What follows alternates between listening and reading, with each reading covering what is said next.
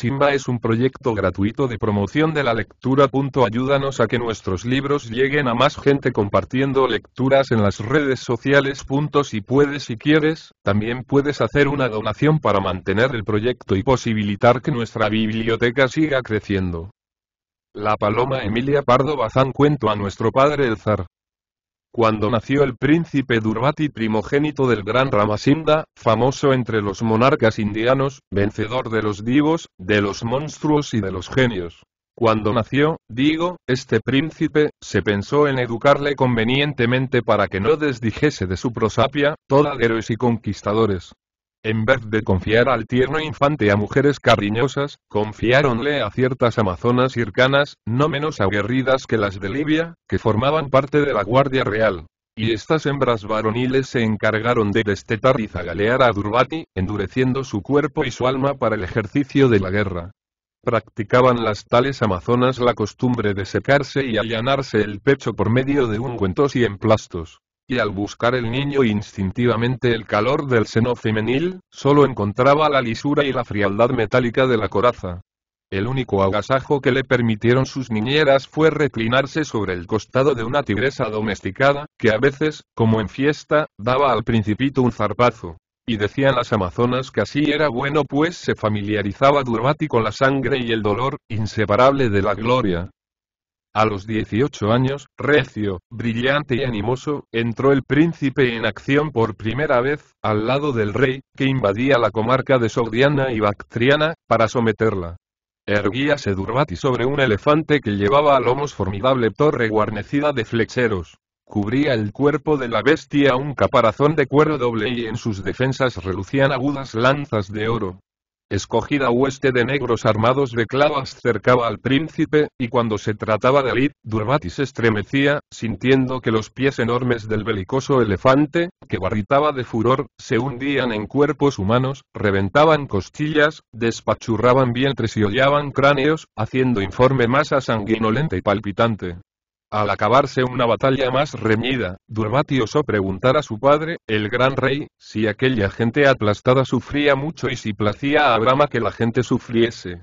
Y Ramasinda, colérico de la pregunta, que le pareció rasgo de flaqueza en el novel guerrero, solo contestó con palabras de un cántico sagrado. Mira delante de ti la suerte de los que fueron. Mira delante de ti la suerte de los que serán. El mortal madura como el grano y como el grano renace acababa de pronunciar estas palabras Ramasinda, cuando cortó el aire una flecha y vino a fijarse, temblando, en la espalda del rey. Durbati, precipitándose hacia su padre, solo alcanzó a recibirle en brazos moribundo. La tropa, después de hacer pedazos al matador del rey, proclamó a Durbati, gritando que era preciso llevar a sangre y fuego a aquel país, y que el nuevo rey sabría cumplir tan alta empresa. Aquella noche, el huérfano se durmió con sueño de plomo y soñó cosas raras. Representósele otra vez el triste fin de su padre. Sintió la humedad de la sangre que emanaba la herida y la humedad del llanto que él mismo, Durbati, no se había atrevido a derramar en presencia del ejército, pero que ahora fluía copioso, empapando sus ropas y cuando desahogaba así el dolor, parecióle que sobre su pecho notaba un calor grato y suave, como un peso delicioso, y rozaba su cara algo fino cual seda. Era, a su parecer, una blanquísima paloma, de rosado pico, de cuello de bizantinos esmaltes verde azules, de benignos y amorosos ojos negros, que arrullando mansamente murmuraba a su oído una frase misteriosa. El arrullo calmó las angustias del príncipe, y le sepultó en un anonadamiento absoluto, reparador. Al despertar, gritó de sorpresa. Echada a su lado, recostada la frente en su pecho, había una mujer muy joven, celestialmente bella, de blanco seno, de rosada boca, de cabellera sombría y suelta como plumaje de aves, de negras pupilas. Y al preguntar atónito, Durbati quién era la admirable criatura, fuele respondido que una cautiva, una esclava, por hermosa señalada para botín real, y que a no haber sido muerto el rey Ramasinda, estaría ahora en su tienda y no en la de Durbati. Mozo era, y nunca había ardido en su corazón el incendio que transforma y perpetúa los seres. En aquel punto y hora lo sintió con tal fuerza, que se borró de su mente cuanto no fuese la cautiva. Olvidando planes de conquista y dominación, fijó sus reales en la ciudad más próxima, y embelesado en coloquios deleitosos se pasaba la existencia. No por eso se crea que Durbati se entregó a la molicie y al desenfreno. Al contrario, poseído casi siempre de exquisita delicadeza, con casto arrobamiento, amaba a la cautiva a la manera que enseñan los kandas, o himnos védicos, con el Atman, o que quiere aliento espíritu. Repitiendo aquellas palabras consagradas. En verdad, lo que amamos en la mujer no es la mujer, sino el espíritu. Y quien busque en la mujer más que el espíritu, será abandonado por Brahma recordando que la primera noche en que tuvo cerca a su amiga soñó Durvati que una paloma se le arrimaba arrullando, Paloma la llamó, y Paloma la nombraron todos.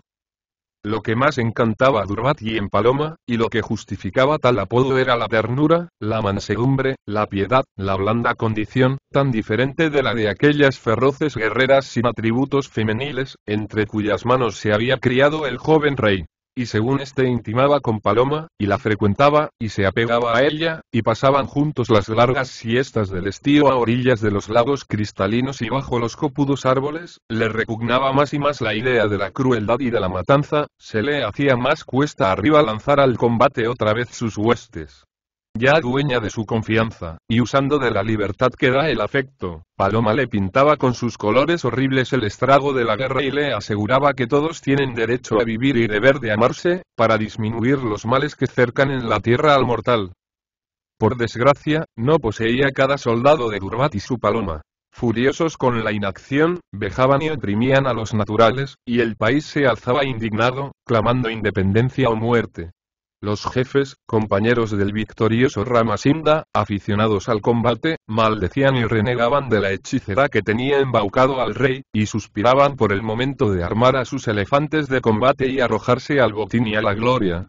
La sorda conjuración contra la favorita tomó cuerpo al difundirse una noticia grave contra todos los ritos, costumbres y leyes, contra el decoro de su nombre y las tradiciones heroicas de su raza, Durbati iba a elevar al trono a aquella mujer, y regresar después a los bordes del Ganges, abandonando la tierra ganada por el empuje de sus armas, devolviendo la libertad a sus moradores, sin apropiarse ni una pulgada de territorio ni una oveja de ajeno rebaño cundió la nueva entre las tropas, y oyéronse maldiciones e imprecaciones contra el afeminado rey que los deshonraba y envilecía. Era preciso que su razón estuviese perturbada, y que aquella bruja, secuaz de los magos, hubiese dado algún bebedizo o hierba mala al joven héroe, para que olvidase la dignidad real y los deberes de su cargo altísimo, que principalmente en la guerra se resumen. Persuadidos ya de haber adivinado la causa de la decadencia y trastorno de Durbati, concertáronse las amazonas y los jefes, y una noche, sigilosamente, sorprendieron y robaron a Paloma de la misma cámara real. No ha logrado la historia esclarecer su paradero. Las desgarradoras quejas de Durbati, sus ruegos, sus amenazas, no consiguieron que los raptores se la restituyesen.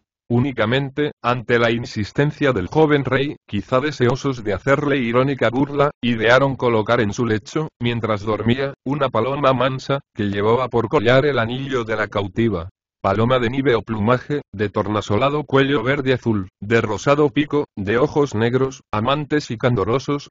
No se sabe si Dubarty entendió la sátira, o si, en efecto, supuso que aquella ave arrulladora y dulce era el agmano espíritu de su amada.